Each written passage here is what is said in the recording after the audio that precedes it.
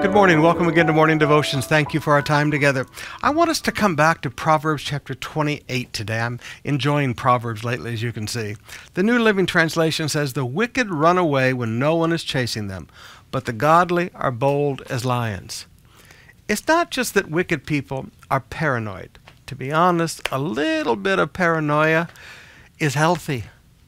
You know, sometimes we're naive and we think everybody loves us and we think everybody wants to help us. And, you know, life kind of knocks that naivety away from us. And we develop a little bit of healthy paranoia to learn to be careful and to be watchful. But this is not talking about a little bit of healthy paranoia. And it's not even talking about extreme paranoia. It's talking about people who just run away. The wicked flee when no one is pursuing them. There are many people today that you'll see running away from business opportunities, running away from opportunities in life. People start talking to them about a promotion and they just disappear. You begin to talk to them about an, an, advancement in their career or moving to the next level in their career, and the next thing you notice, they just disappear.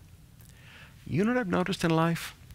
When people run away from promotion, when people run away from moving to the next level in their lives, there's sin in their life.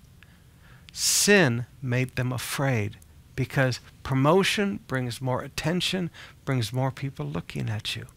The wicked flee when no one pursues them, but the righteous, we're bold as a lion. We, every opportunity that comes along, we just want to jump right in the middle of it because we have nothing to hide.